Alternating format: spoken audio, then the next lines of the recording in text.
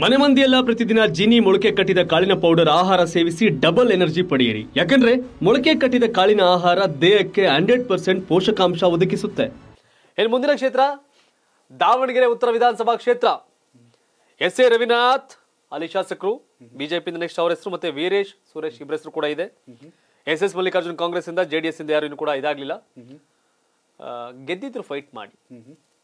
ಸುಮ್ ಸುಮ್ನೆ ಗೆದ್ದಿಲ್ಲ ರವೀಂದ್ರನಾಥ್. ಗೆದ್ದಿಲ್ಲ ಮಲ್ಲಿಕಾರ್ಜುನ್ ಅವರು ಜನ ಸೋಲ್ಸಿದ್ರು. ಈಗಲೂ ಇಲ್ಲಿ ಟ್ರೆಂಡ್ ಸ್ವಲ್ಪ ಎಸ್ ಎಸ್ ಮಲ್ಲಿಕಾರ್ಜುನ್ ಕಡೆ ಇದೆ. ಪೂರ ಅಂತ ಹೇಳ್ತಾ ಇಲ್ಲ. ಹೌದು. ಕಳೆದ ಬಾರಿನೇ ಗೆಲ್ಲಕ್ಕಾಗಲಿಲ್ಲ. ಈ ಬಾರಿ ಪೂರ ಟ್ರೆಂಡ್ ಇದೆ ಅಂತ ಹೇಳ್ತಿಲ್ಲ. ಗೆಲ್ಲಬಹುದು ಗೆಲ್ಲದಿರಬಹುದು. But December Karnataka TV survey ಪ್ರಕಾರ ಎಸ್ ಎಸ್ ಮಲ್ಲಿಕಾರ್ಜುನ್ ಮುನ್ನಡೆ ಕಾಯ್ದುಕೊಂಡಿದ್ದಾರೆ. ಮತ್ತೊಂದು ಅಂದ್ರೆ ಇಲ್ಲಿ ಏನಾದ್ರು ಏಜ್ ಫ್ಯಾಕ್ಟರ್ ಗುಜರಾತ್ ಪಾಲಿಸಿ ಬರುತ್ತಾ ಎಸ್ ಎ ರವೀಂದ್ರನಾಥ್ ಅವರಿಗೆ. ಅದು ಕೂಡ ಸಾಕಷ್ಟು ಚರ್ಚೆ ನಡೀತಾ ಇದೆ. ಅದು ಬಂದು ಅಭ್ಯರ್ಥಿ ಬದಲಾದ್ರೂ ಕೂಡ ಅದು ಅಡ್ವಾಂಟೇಜ್ ಮಲ್ಲಿಕಾರ್ಜುನ್ ಅವ್ರಿಗೆ ನಮ್ಗೊಂಥರ ಅನ್ಸುತ್ತೆ. ಇದು ದಾವಣಗೆರೆ ಉತ್ತರ. ದಕ್ಷಿಣದಲ್ಲಿ ಅಲ್ಪಸಂಖ್ಯಾತರು ಯಾರು ನಿಂತ್ಕೊಂಡು ಓಟ್ ಹಾಕ್ತಾರೆ? ಬಟ್ ಇದು ಬಹುಸಂಖ್ಯಾತ ಹಿಂದೂಗಳು ಕೂಡ ಇದ್ದಾರೆ ಇಲ್ಲಿ. ದಾವಣಗೆರೆ ಉತ್ತರ. ಇಲ್ಲಿ ಮೆಂಟಾಲಿಟಿ ಬೇರೆ. ಕಳೆದ ಬಾರಿ ನೀವು ವಯಸ್ಸಾದ್ರೆ ಟಿಕೆಟ್ ಚೇಂಜ್ ಆದ್ರೆ ಅಂತಿದೆ.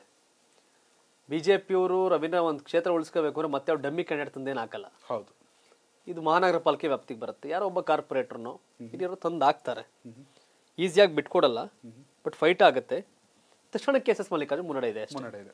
ಆರು ತಿಂಗಳು ನಂತರ ಮಕ್ಕಳಿಗೆ ಯಾವ ಆಹಾರ ಕೊಡಬೇಕು ಅಂತ ತುಂಬಾ ಯೋಚನೆ ಮಾಡ್ತಿದ್ದೀರಾ? ಹಾಗಾದ್ರೆ ಮಕ್ಕಳಿಗೆ ಮೊಳಕೆ ಕಟ್ಟಿದ ಧಾನ್ಯದಿಂದ ತಯಾರಾದ ಸರಿ ಹಿಟ್ಟು ಕೊಟ್ರೆ ನಿಮ್ಮ ಮಕ್ಕಳು ದಷ್ಟಪುಷ್ಟವಾಗಿ ಬೆಳಿತಾರೆ ಆರೋಗ್ಯವಾಗಿರ್ತಾರೆ ಸದಾ ನಗನಾಗ್ತಾ ನೆಮ್ಮದಿಯಾಗಿ ನಿದ್ದೆ ಮಾಡ್ತಾರೆ. ತಾಯಿ ಎದೆ ಹಾಲಿನ ಜೊತೆ ನಮ್ಮ ಜೀನಿ ಮೊಳಕೆ ಕಟ್ಟಿದ ಸರಿ ಇಟ್ಕೊಡಿ. ಕೊಡಿ ಮಕ್ಕಳಿಗೆ ಹಂಡ್ರೆಡ್ ಪರ್ಸೆಂಟ್ ಸರಿಯಾದ ಆಹಾರ ಅಂದ್ರೆ ಜೀನಿ ಸರಿ ಇಟ್ಟು ಮಾತ್ರ. ಎಲ್ಲಾ ಮೆಡಿಕಲ್ ಶಾಪ್ಗಳಲ್ಲಿ ಜೀನಿ ಸರಿ ಇಟ್ಟು ಲಭ್ಯ. ಅರ್ಧ ಕೆಜಿ ಚಿಕನ್ ಅರ್ಧ ಕೆಜಿ ನಾರ್ಕ್ ಚಟ್ಟಿನಾಡು ಬಿರಿಯಾನಿ ರೈಸ್ ಮಸಾಲ ಇದ್ರೆ ಇಪ್ಪತ್ತು ನಿಮಿಷದಲ್ಲಿ ಸೂಪರ್ ಆದ ಬಿರಿಯಾನಿ ರೆಡಿ ಆಗುತ್ತೆ.